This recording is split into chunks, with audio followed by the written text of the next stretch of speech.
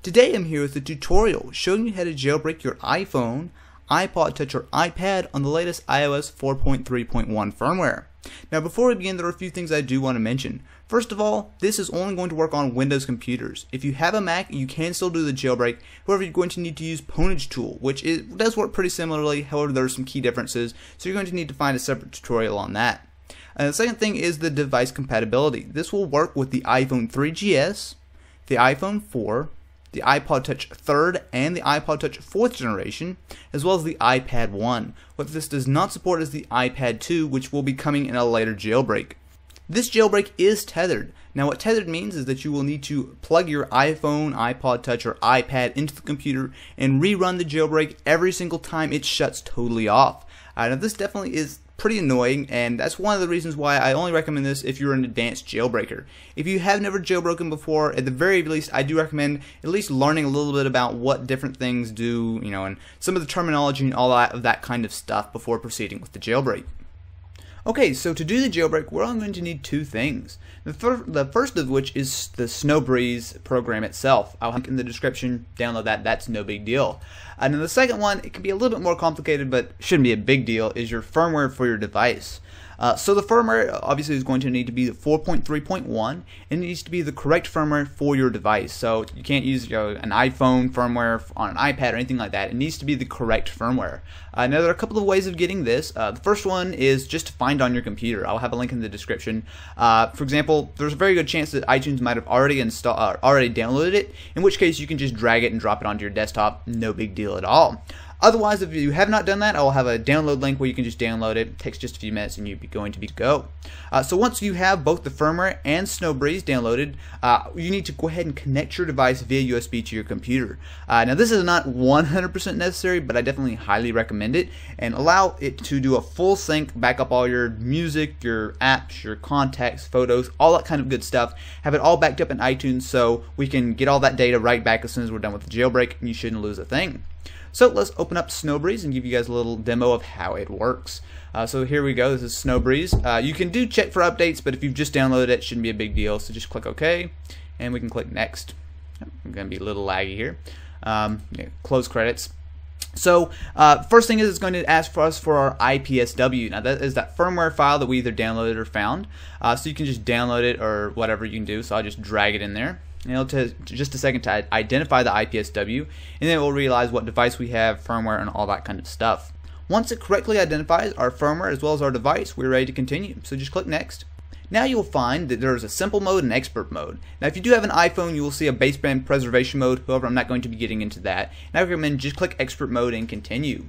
Now there are going to be a few options. We're just going to, I'll give you guys a quick overview of them. Uh, so we're going to start with general and there are going to be a few things here. Uh, now, these options are all optional. However, uh, I definitely recommend that there's a couple of them that you need to do. Uh, so for the iPod Touch 4th generation, and do keep in mind that some of these will change a little bit varying the devices, but uh, you'll probably want to enable just uh, battery percentage as well as gestures menu. Um, you can also install SSH if you, I typically don't do that, I like to just wait and install it later. Um, but what you will want to do is make sure that this box is checked, install working mobile substrate. That will make sure that many of the great apps such as Winterboard and etc etc will properly work on 4.3.1. Uh, and you can adjust through partition size, but I don't really recommend that, just leave it as is.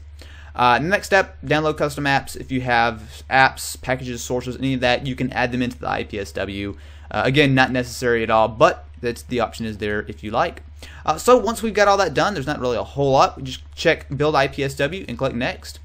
Uh, so the IPSW does take quite a bit, uh, but uh, what ih8sn0w has done, of course, the developer of, the, uh, of sn0wbreeze, is allow you to play Pac-Man while it's loading. So if you guys want, you can play a little bit of Pac-Man. I'm not going to do that right now, but that's there, and you know you can have a little fun while it's waiting. Anyway, guys, this is going to take a little while, so I will be right back as soon as it's done.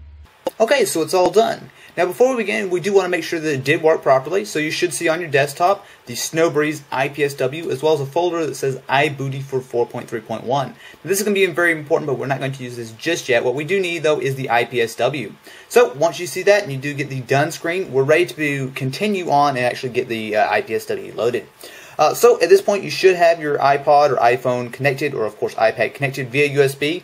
Uh, you know, it's backed up and all that kind of stuff. And we're going to put your the uh, iPod or the iPhone or whatever into a DFU mode state. So I'm going to put this over just a little bit here, and I'll give you guys a demo of how to do it. So we just need to shut off our device now. So pretty simple. You just hold the power button down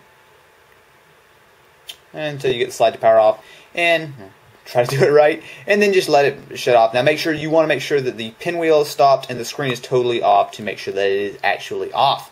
So now what we're going to do, if I just adjust this, is we're going to put it into DFU mode. I will walk you guys through it, but of course there are instructions on screen. Uh, just follow those when you do the tutorial. So we're going to click start, and we're going to prepare to press the power in the home. So ready, set, go. We're holding them both. i hold them for 10 seconds, so we just let it count us down here. We're about to ready to release the power button. Release the power button and continue holding the home button. So there you go. It says 30 seconds. Usually it takes about 10 seconds, but we'll just continue holding it until it gives us the OK. So it sounds like it's about done. There we go. So now it is running iReb, and we're ready to roll. So uh, there we go. You guys will see it says your device is now in a Pwn DFU mode state, and we're ready to begin. Now at this point, iTunes should automatically open up. If it doesn't, just open it yourself, and it should pop up with a thing saying it has detected a device in recovery mode. So we can go ahead and click OK. And now we need to restore that firmware onto our device. So to do it, you need to hold the Shift button down on your keyboard. So while you're holding Shift, click Restore with your left mouse button. And then it should uh, open up a little dialog here and just scroll down to your desktop and select that sn0wbreeze IPSW that we just made. Click open, uh, just say yes, restore. Um, now again, this will take just a little while, so get it started, sit back, and you know chill out for a few minutes, and I'll be back when this one is done. Okay, so just finished up. So as you guys can see here, everything looks pretty much stock except for the addition of Cydia.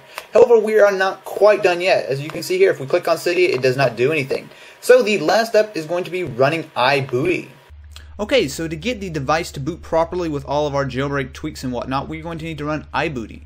And of course, iBooty should be on your desktop as soon as uh, uh sn0wbreeze made your IPSW. It should have uh, done the file there. And then you just need to open up the iBooty executable file, and we're going to be good to go.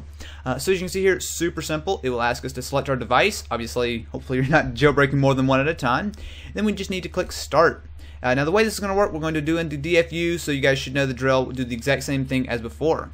Okay, so once iBooty is finished, iTunes will most likely pop up again with the same stuff. However, this time we don't need to restore it all, so we can just close out of this and pull in our device. Now, it will take just a minute to, to boot up, but uh, take a look here. Now, if we open up Cydia, you should find that it actually works just fine. So it's going to want us to connect to Wi-Fi and all that kind of stuff. I can do that later. But as you guys can see here, Cydia does work, and we are officially jailbroken. If you found this video helpful, be sure to subscribe. I do lots of other jailbreak videos and all kinds of stuff like that. And if you have any problems or questions about the jailbreak, definitely let me know in the comments below, and I will do my best to help you out.